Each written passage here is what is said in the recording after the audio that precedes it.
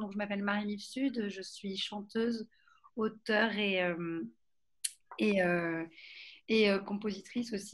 Donc, l'album s'appelle Récif, mais le live va s'appeler aussi Récif. Enfin, il y a vraiment un lien, une construction d'un, d'un, avec une mise en scène, etc. Toute une réflexion sur comment faire un live aussi en lien avec, euh, avec l'univers de l'album. Voilà, donc on est en résidence, on fait beaucoup de répètes, on travaille avec euh, une metteuse en scène, euh, donc on est un peu dans le, dans le jus en fait.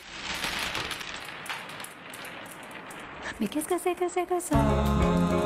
Tout ça, tout ça. Mais qu'est-ce que c'est que c'est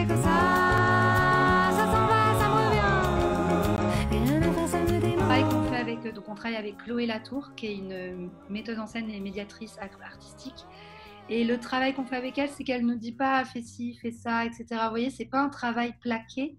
Au contraire, elle, euh, en fait, elle, elle, elle, met une énergie dans le groupe et aussi euh, dans ce que je ressens pour qu'on trouve aussi nous, euh, des, enfin qu'on trouve des idées, qu'on trouve des chemins qui nous paraissent organiques, qui nous paraissent que ça vienne de, nous, en fait, tout simplement, que ça vienne de notre intuition.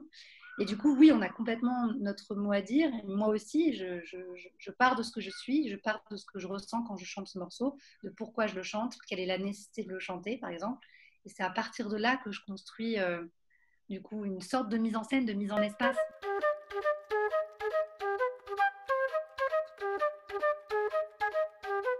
Quand tu te rapproches, je m'éloigne.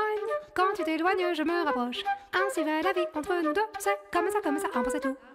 Je sens du coup la nécessité, l'urgence, la, volonté euh, très forte d'être là et de, chanter, de dire ce que j'ai envie de dire, de chanter ce, que j'ai envie de dire, de défendre un univers sur lequel on a travaillé tous ensemble. C'est un travail collectif aussi. Euh, donc il y a un peu cette, euh, cette soif, en fait, peu cette soif d'être là et de partager un moment ensemble avec le public, avec les musiciens.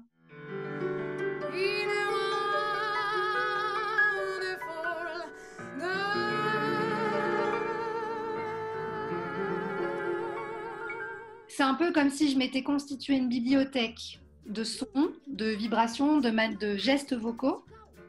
Euh, depuis des années, quoi, parce que j'ai fait du lyrique avant, donc euh, là, ça a été vraiment un travail très technique sur euh, le souffle, la, perception de sa voix, enfin la maîtrise de sa voix.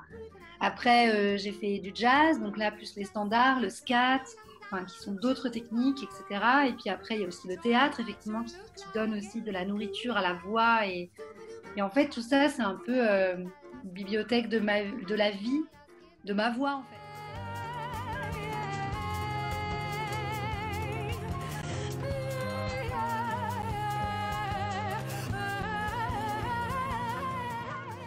il y a un training quand même corporel assez régulier euh, d'étirement pour rendre disponible le corps, la voix, euh, l'esprit, se rendre disponible à, chanter, à transmettre euh, une vibration. Voilà, il aussi la voix, c'est pas juste ici, c'est vraiment, je pense, une disponibilité du corps et de l'esprit.